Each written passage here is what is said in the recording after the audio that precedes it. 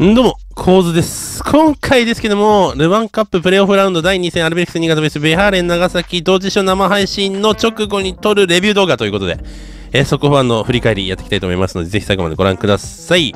えー、スタメンはこんな感じ。両チームフルメンバー、ほぼフルメンバー。もう長崎なんかもうリーグ戦の主力がもう続々という感じで、えー、第1戦から、あの全然違う、もう主力級の主力揃いと。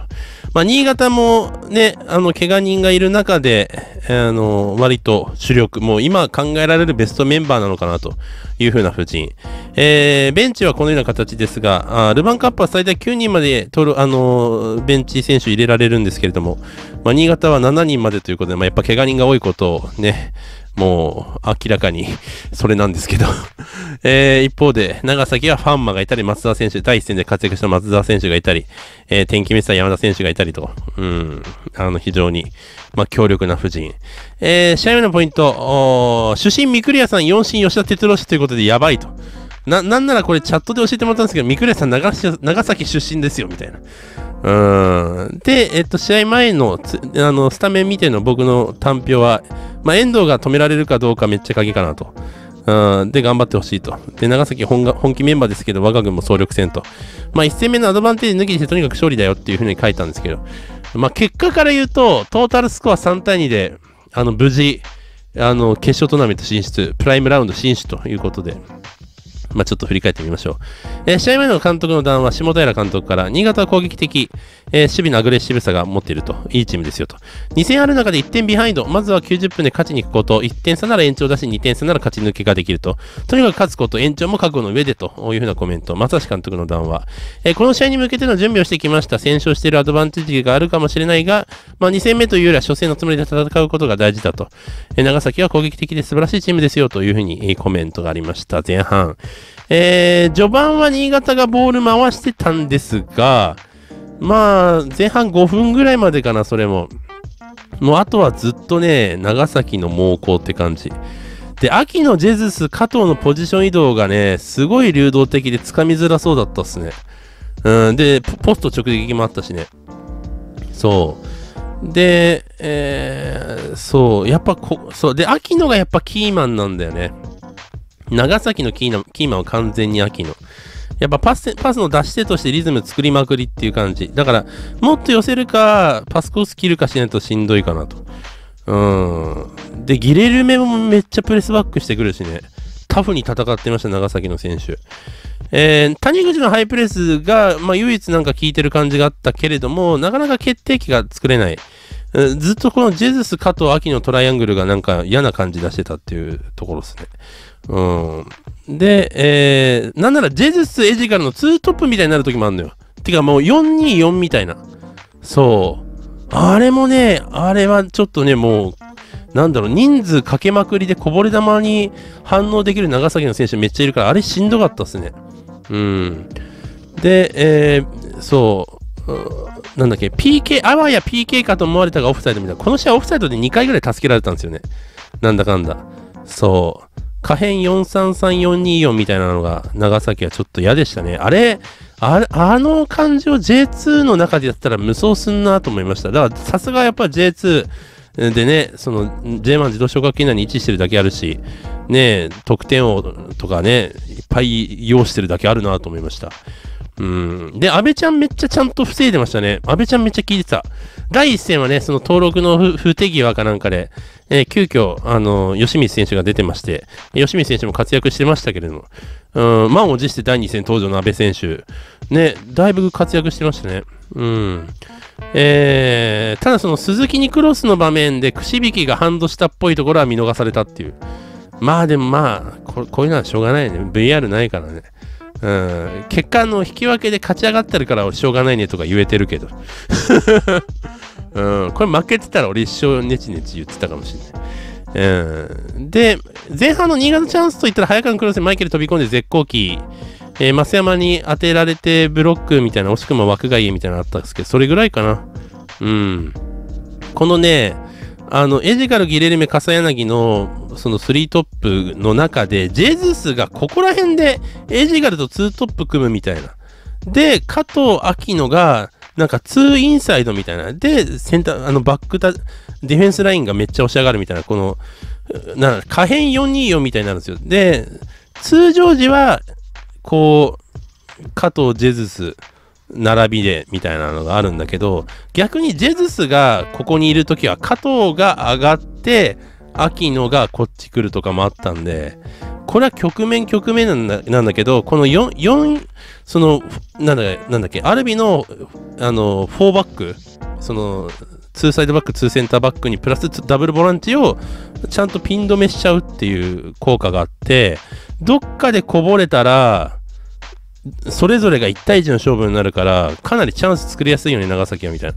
じゃあ、そこの背後のスペース、チャンスやんけ、みたいな、あるんですけど、うん、ここのね、その、秋野が、例えばこの、くしびき田中でビルドアップしてる時に秋野がここにいて、で、例えば田中にボールが入った時は鈴木が田中に寄せに行って長倉が秋野見るみたいな。で、そうなると必然的に串引きにパスが行くと。そうすると長倉が串引きに寄せて鈴木が今度秋野見るってなるんだけど、このトラトランジションっていうかその、チェンジ、パマークの受け渡しをするときに秋野にボールが入って、で、まあ、これで言うと鈴木選手寄せてるんだけど、ワンタッチで展開できちゃう秋野選手の技術力。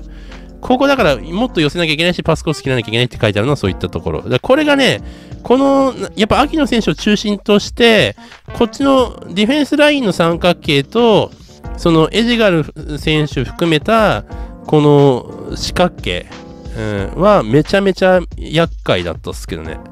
うん、そんな印象。ということで前半単票。長崎の猛攻の時間が多い印象。ジェズスがエジカルと並んでツートップ気味にポジションを取ることが多いので、長崎の攻撃時に前に人数がかけれているのは長崎の戦略だと思われると。ジェズスが下がれば加藤が上がると。えー、長崎の起点は秋のパスの出して長崎のリズムは彼から生まれていると。長崎がディフェンスラインで横パス回すときに秋野のマークの受け渡しが、えー、鈴木と長倉で少しでも隙があると秋野がプレイできてしまい、前に展開され、さっき話した通りね。えー、秋野をどう抑えるのか後半要所になるかなと。長崎の可変433-424対策も急務かなと。新潟のチャンスらしいチャンスは1回ぐらい、うん、マイケル選手のヘッドぐらい。えー、新潟ディフェンス陣集中してていいが、新潟的にはもっと長崎落ち込みたいよねという風な前半でした。まあ、0-0を折り返したのは結果的にでかかったんじゃないかなと思います。うん。逆に前半決めきれなかった長崎はもうそこがちょっとターニングポイントだったかもしれない。え、で、ハーフタイムは交代なし。で、後半からめちゃめちゃ大雨になってましたね。うん。で、藤原が完全に笠柳止めてたのもでかい。マジで。うん。で、長崎の猛攻は安倍ちゃんが防いで、遠藤がかけた。遠藤選手良かったっす。うん。あの、この試合はもう一個もポカもなく、うん。ちょっと一皮むけたんじゃないかな。うん、この試合を終え終えて乗り越えて。うん、すごい、もう守備陣的にはストレスフルな試合展開だったと思うんですけど、よく耐えたなと思いました。うん、エジガルのミドルも安倍ちゃん止めてたしね。うん。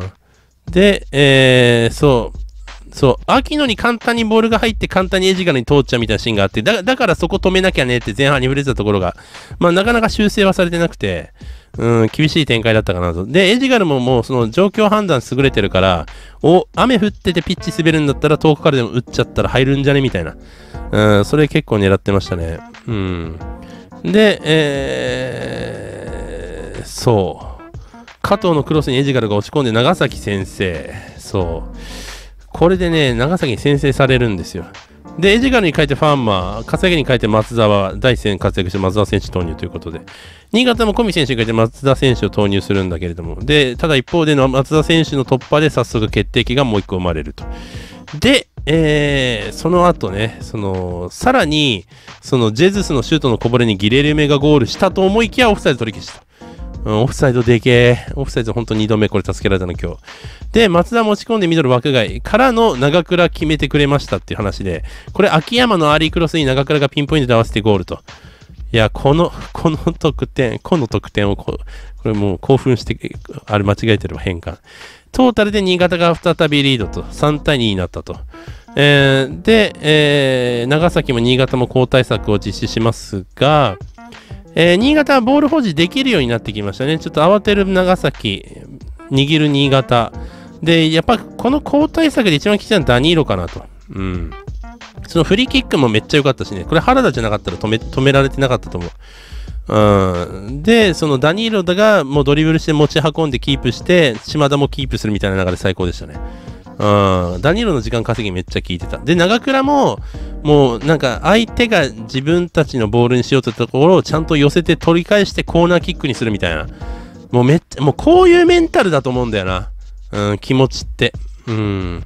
すげえ、その文章にする、したり、なんか、そのむずいけど、こういう局面でのプレーっていうのが気持ちが現れたプレーと呼ぶのではないでしょうか。うん、ということで、1-1で終了と。なので、トータルスコア3対2でプライムラウンド決勝トーナメント進出決定と。タイトルにまた一歩近づいたということで、えー、最終的にはこんな感じの交代、交代後か、交代後の選手配置になってましたね。えー、試合の総括、長倉怒涛の攻めの中でついに、長崎怒涛の攻めの中でついに新潟が接戦してしまうが、えー、秋山のピンポイントアリークラスにしっかり合わせた。長倉が同点の決め切って 1, 1と、えー、そのままダニールが時間稼ぎしたりなどもあり、え、長崎の攻撃をしっかり抑えて1日で試合終了。トータスか3対2新潟勝ち上がり、決勝トーナメント進出決定ということで、あと、その準々決勝のホームアンダーウェイ、準決勝のホームアンダーウェイ、そして決勝の一発勝負。まあ、合計、合計、もう最後まで勝ち上がったら5試合試合があるわけですけど、まあ、それを突破すれば、ついにタイトル獲得というふうなところで、やっぱりね、エンブレムの上に星をつけましょうよ、皆さん。ねえ。うん、長倉選手の談話突破できてよかったです。あの、吉田健美があるんだよね。ちょっと長倉選手ね、インタビューのコメント。まあ、そこもいいよね。キャラクター立ってて。いいボール来たんで枠に飛ばせてよかったです。1点優位でしたが関係なく入りました。まだ合計で引き分けだったんで、失点した後の話ね。えー、合計で引き分けだったんで全然できるなと思ってました。点取ったらもっと楽になるので、1点同時に追いついたとも狙ってました。てっぺん取れるように頑張りますと。えー、長崎まで足を運んでくださりありがとうございました。次もよろしくお願いしますと。現地来たサポーターにも一言と。えー、正し監督の談話、率直に嬉しいです。難しいゲームになると予想してました。次につながるという意味では引き分けでも評価できると思いますと。えー、両チーム重い感じの流れでしたと、うまくいっているようでうまくいかない。後半に入ってから選手も体が動くようになってきたのではないでしょうかと。えー、個人のスキル、判断の的確さがものを言うと思うと。